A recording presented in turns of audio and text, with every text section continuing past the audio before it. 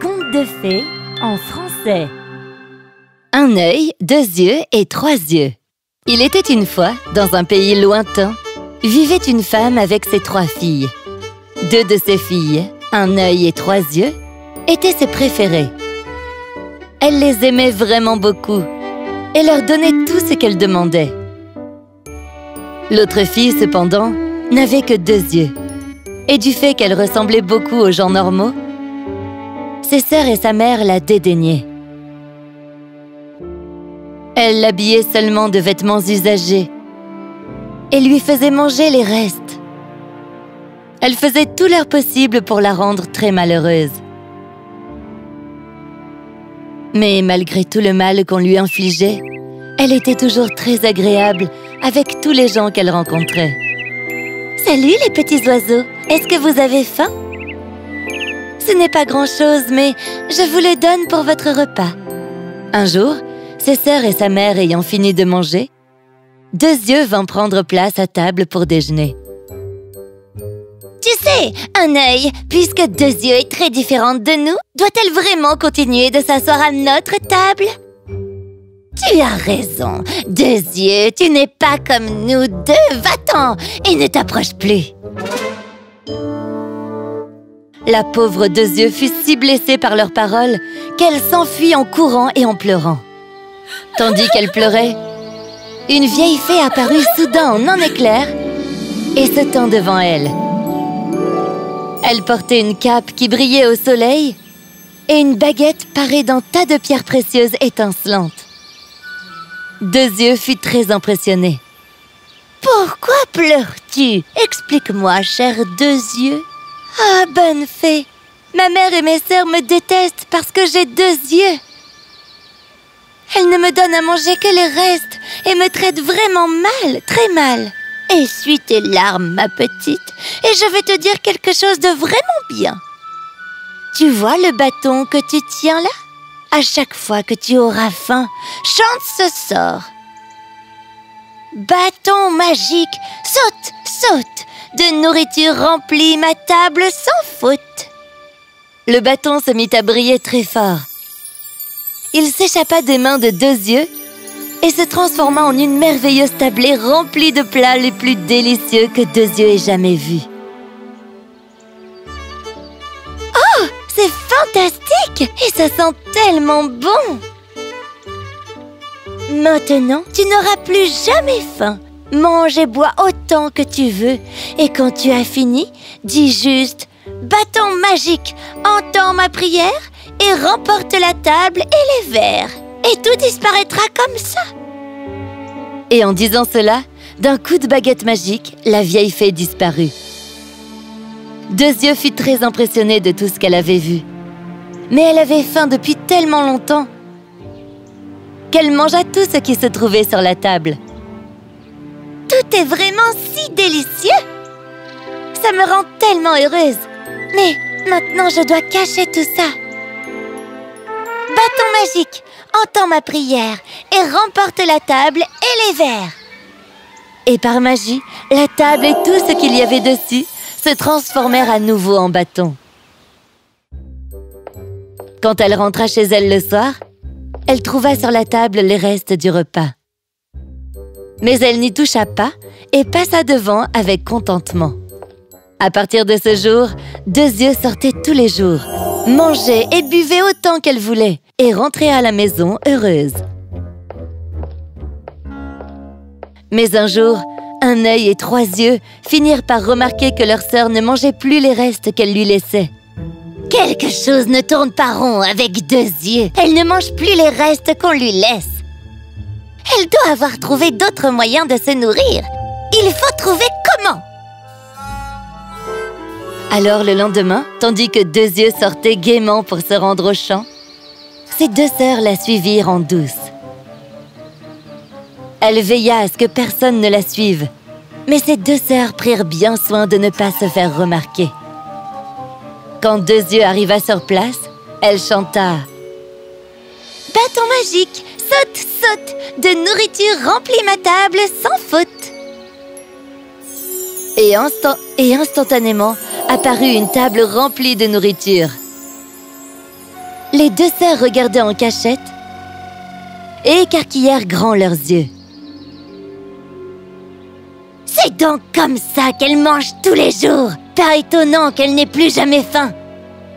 Vite On rentre à la maison tout raconter à maman. Elles coururent à la maison aussi vite que possible. Et quand la mère eut entendu tout ce que Deux Yeux avait fait, elle devint furieuse. Comment a-t-elle mangé mieux que nous trois? Laissons-la revenir à la maison et on lui enlèvera son bâton magique elles attendirent le retour de Deux Yeux. À son arrivée, sa mère attrapa le bâton des mains de Deux Yeux et le brisa en mille morceaux. Non Mais, mais pourquoi tu as fait ça? Ça te fera une bonne leçon si tu décides de nous flouer à nouveau tes sœurs et moi. Maintenant, tu vas avoir faim pour de bon Deux Yeux eut le cœur brisé. Elle ramassa les morceaux de son bâton et s'enfuit de la maison en courant. Elle alla dans le jardin et pleura avec amertume. Juste à ce moment-là, la vieille fée apparut devant elle. Deux yeux, ma douce, qu'est-ce qui ne va pas? Pourquoi pleures-tu, mon enfant? Oh, ma bonne fée Le bâton magique que vous m'avez donné et qui s'est transformé en table pleine de nourriture, ma mère l'a mise en miettes et l'a jeté par terre J'ai de nouveau faim tout le temps, vous savez. Hmm, deux yeux. Laisse-moi te donner un bon conseil. Prends les morceaux du bâton et enterre-les dans le jardin. Là où la lune brille le plus fort. Tu verras ça. Ça va vraiment t'apporter un vrai bonheur. Une fois de plus, la vieille fée agita sa baguette magique et disparut en un éclair dans la nuit. Deux yeux avait confiance en la fée et fit exactement ce qu'elle lui avait conseillé. Le lendemain matin, dans le jardin, se tenait un arbre merveilleux. Toutes ses feuilles étaient en argent et ses fruits en or brillaient dans la lumière du soleil. La mère et les deux filles admiraient l'arbre avec émerveillement. Elles n'avaient jamais vu chose aussi belle de toute leur vie. Cet arbre est tellement beau Mais d'où vient-il, maman? Je ne sais pas. C'est en effet très étrange. Mais allons donc cueillir des fruits. Seuls deux yeux savaient que l'arbre avait poussé grâce au bâton brisé. Un œil, trois yeux et leur mère sortirent et sautèrent en haut pour cueillir les fruits dorés. Mais à chaque fois qu'elles allaient les attendre, l'arbre pliait ses branches, les éloignant des filles. Oh, mais pourquoi on n'arrive même pas à voir ne serait-ce qu'une feuille de cet arbre? Je vais me reposer, je suis crevée. Deux yeux les avaient observés, et elle regarda l'arbre elle aussi. Laisse-moi essayer, peut-être que moi j'arriverai à attraper un fruit ou deux Ha Essaye si le cœur t'en dit Mais comment tu pourrais y arriver, toi, hein? Et alors que Deux yeux essaya de toucher une branche en argent, l'arbre n'essaya pas de l'éviter. En fait, il se mit même à briller encore plus fort et s'inclina pour que Deux Yeux puisse prendre autant de fruits qu'elle le souhaitait. Elle voulut aller en offrir à sa mère, avec l'espoir qu'elle serait contente. Mais en voyant que seule cette fille-là pouvait cueillir les fruits de l'arbre, elle ne ressentit que de la jalousie.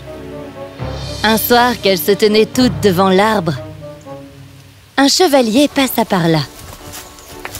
La mère se tourna en vitesse vers Deux Yeux. Vite, Deux Yeux, Va vite te cacher dans les buissons On ne veut pas que tu nous fasses honte, d'accord? La pauvre Deux Yeux se dépêcha d'obéir et se cacha dans les buissons. Le chevalier était un jeune homme fort beau. En passant, il vit le merveilleux arbre fait d'or et d'argent. Il se demanda à qui il appartenait et vit les deux sœurs. Mais à qui appartient cet arbre fabuleux? Celle qui m'en donnera un rameau pourra obtenir tout ce qu'elle désire. L'arbre est à nous Nous pouvons vous donner un rameau avec plaisir Elles sautèrent et tentèrent tant bien que mal de casser une branche, mais en vain. L'arbre courba ses branches et éloigna ses fruits de leurs mains, ne les laissant pas les atteindre. Je trouve vraiment étrange que l'arbre soit à vous. alors que vous n'arrivez pas à en décrocher même un seul fruit. Je ferais mieux de partir plutôt que de perdre mon temps ici. Et il partit. Les deux sœurs et leur mère furent très contrariées. Ne vous inquiétez pas, mes chers enfants. Il reviendra peut-être demain et nous essaierons à nouveau. Quand elles s'en allèrent, deux yeux sortit des buissons et s'assit sous l'arbre. Elle pensa beaucoup au chevalier. Ah, qu'est-ce qu'il est beau Si seulement j'avais pu lui décrocher une branche pour la lui donner. J'aurais pu lui dire à quel point il me plaisait. À peine eut-elle fini sa phrase qu'elle entendit la voix de la fée venant de l'arbre. Ma petite deux yeux, tu as été si gentille malgré ta tristesse. Un bon cœur mérite d'être récompensé. J'ai entendu ton souhait, et si c'est vraiment ce que tu veux, alors je vais le réaliser. Oh oui Je ne souhaite rien d'autre que d'être avec mon beau chevalier. Je le souhaite de tout mon cœur, vraiment. Alors très bien. Eh bien, fais comme je te dis.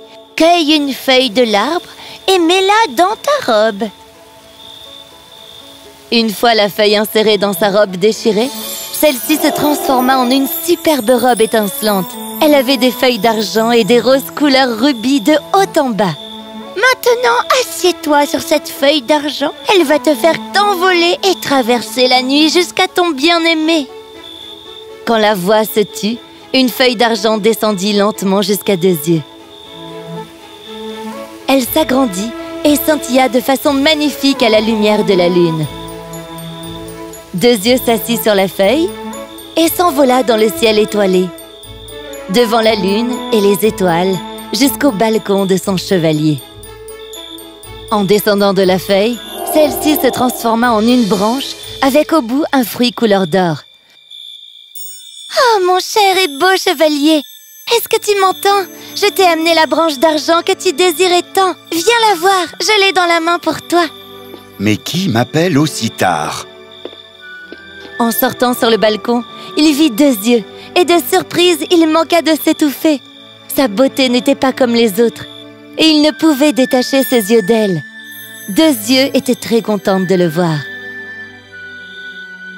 Oh, monseigneur, vous avez promis de donner tout ce qu'elle voudrait à la personne qui vous amènerait une branche d'argent. En effet. Et que voudrais-tu donc?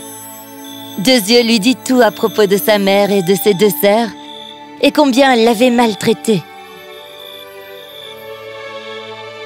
J'ai souffert de la faim, de la soif et de la tristesse, et je suis venue vous demander si vous pourriez me sauver en me prenant pour épouse.